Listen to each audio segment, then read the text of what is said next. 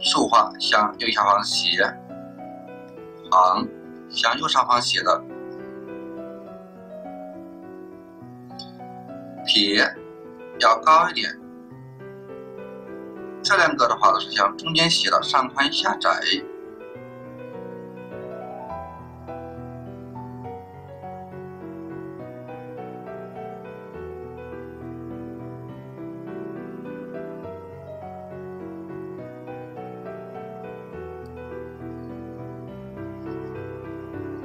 横要稍微细一点，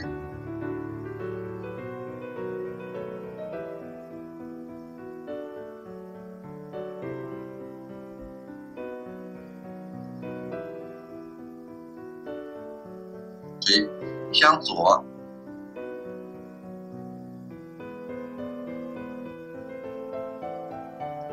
竖画向左下方斜的。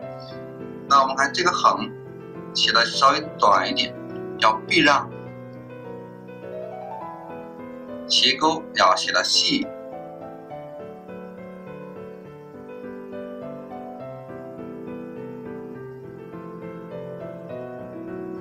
撇注意，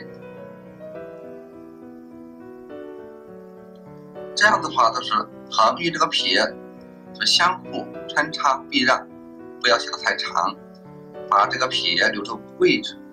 最后写了个点，整体的话，这个字的话写的方正，这个笔画要稍微长一点，要拨。第一个点向左下方带，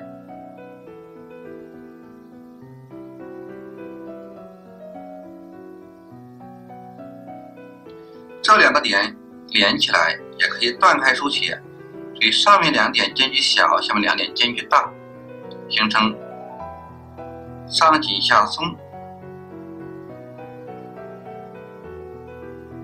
撇要直，要细一点，横钩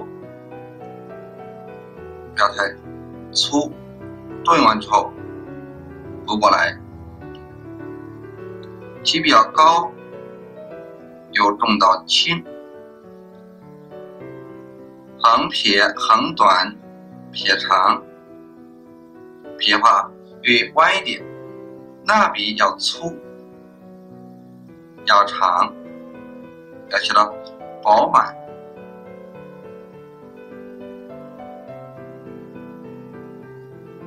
以这个撇形成就是粗细的变化，还有个撇画略弯一点，捺画要直一点。